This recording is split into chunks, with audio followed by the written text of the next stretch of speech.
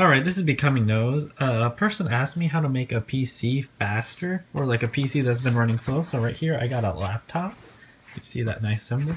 So on the back of it, and it also works if you're having difficulties like your laptop. It's the same thing with the monitor.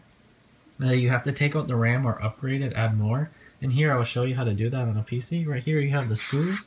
All you do pretty much is just, you just gotta take out all the screws that are on it you know, it's nothing basic. Like here, you see the panel, the cutout, all you do. That's the battery. You should probably take that out.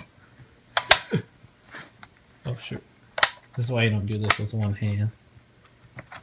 Alright, alright. See? You get the battery out. Some people say you press the power button a couple times to make sure there's no charge, but we're not really doing anything too dangerous here. Some people are just overcautious.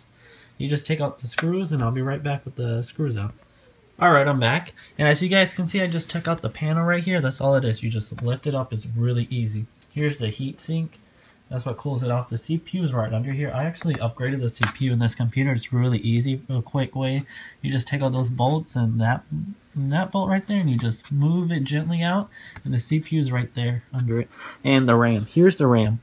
All laptops have the RAM right under the first panel. I have not seen a laptop yet that does not have that. So all you pretty much do, they have these tabs. See, one tab's right there. The other tab's right there. And all you do is really, you just move it out the way and the thing should pop up. You know, I just can't do it with like, let's see if I, I want to see if I can. Alright, I'm back. All you do is you just have to move those two tabs out with using both your hands because using one hand is hard. And it pops out like that and boom, alright. One thing of RAMs. And you do that with the other RAM too. Here's the Where's the tabs at? Yeah, the there's, uh, let's see if I can, there's one tab right there, and the other tab's right there, and you just push it out, the thing lifts up, and you pull it out, just like I did with this one. It's really simple. You can also upgrade them, like if you ever need to upgrade it. Some laptops actually have more space, like another slot. I'm looking at this one. This one doesn't seem like it has one because it's like an older one. And all you do to put it back in, you look.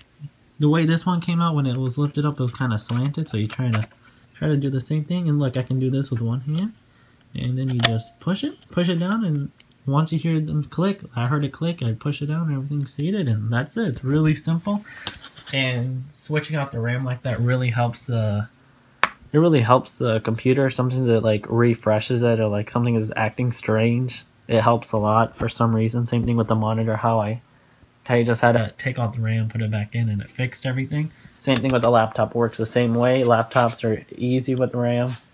And some laptops are easy to change out the CPU like this one is. And that is it, you guys. I hope you guys enjoyed the video. I hope I hope I helped some of you guys. If you have any questions, leave it in the comments below, and I'll try and answer them. All right, see you guys.